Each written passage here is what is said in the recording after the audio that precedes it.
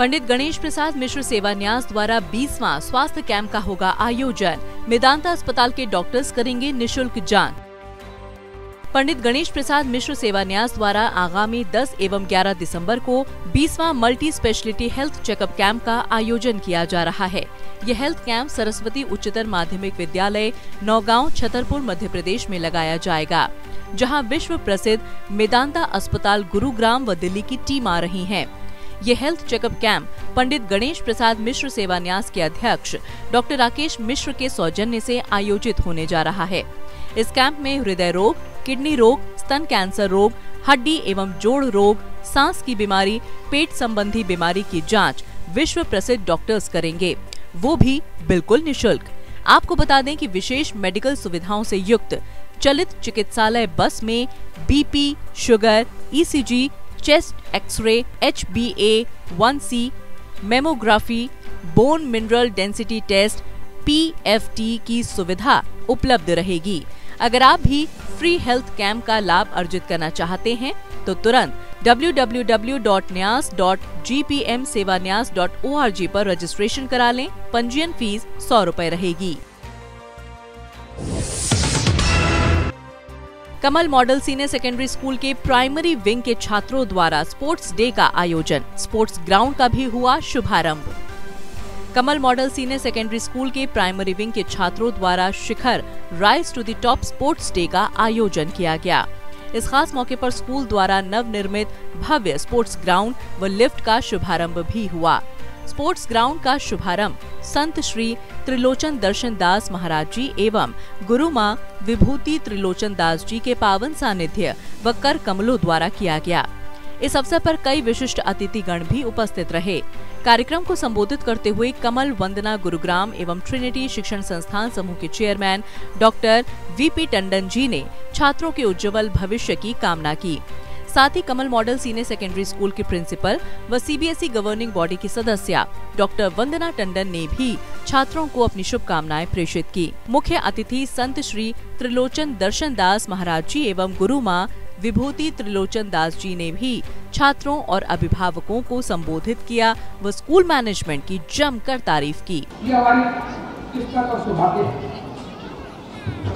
मैं आपको Kamal model senior secondary school Mohan garden का थोड़ा सा इतिहास भी बता देता हूँ क्योंकि तो गुरु जी से मेरा सात आठ साल से संपर्क है। और मैंने देखा कि इनके चरण जहाँ पड़ जाते हैं, वहाँ बहुत बड़ा आशीर्वाद मिल जाता है। हमारे बच्चों को बहुत बड़ा आशीर्वाद मिल गया इनके चरण हमारे आज हमारे स्पोर्ट्स ग्राउंड का इनाग्रेशन है।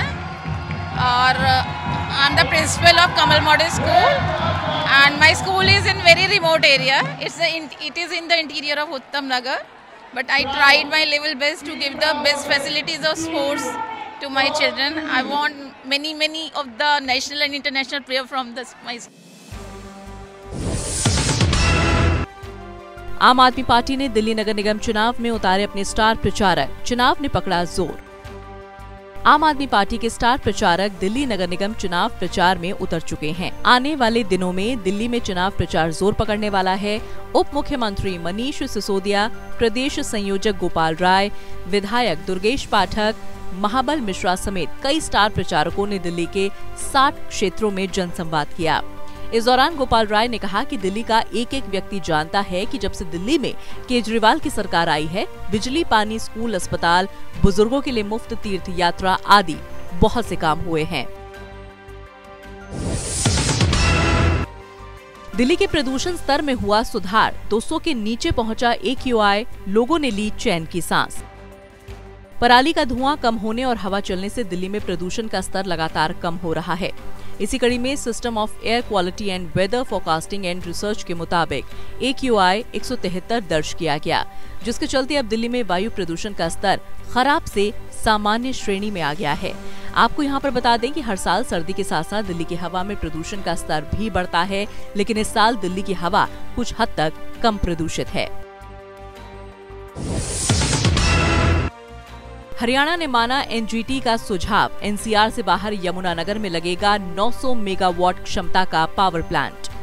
हरियाणा में 13,106 मेगावाट बिजली की उपलब्धता के साथ प्रदेश सरकार एक नया पावर प्लांट लगाने जा रही है। करीब 900 मेगावाट क्षमता का ये पावर प्लांट यमुनानगर में लगेगा।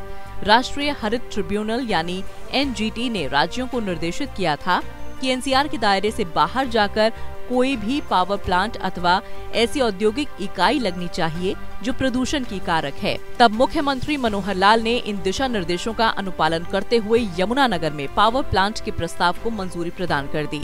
अब इस प्लांट के लिए जगह का चयन होगा और विस्तृत परियोजना रिपोर्ट बनाई जाएगी। चंडीगढ़ मिलिट्री लिटरेचर फेस्टिवल का होगा आयोजन। प्रशासक बीएल पुरोहित करेंगे उद्घाटन। चंडीगढ़ के सबसे बड़े आयोजनों में से एक मिलिट्री लिटरेचर फेस्टिवल का आयोजन दो साल के अंतराल के बाद ऑफलाइन होने जा रहा है। इस साल चंडीगढ़ मिलिट्री लिटरेचर फेस्टिवल 2022 का छठा संस्करण आगामी तीन और चार दिसंबर को आयोजित किया जाएगा। मिलिट्री लिटरेचर फेस्टिवल सोसाइटी के chairman lieutenant general T S Shergill ने फेस्टिवल के बारे में जानकारी देते हुए कहा कि इस बार फेस्टिवल दो दिनों का होगा, जिसमें देश भर से लोग और सेना से जुड़ी हस्तियाँ शिरकत करेंगी।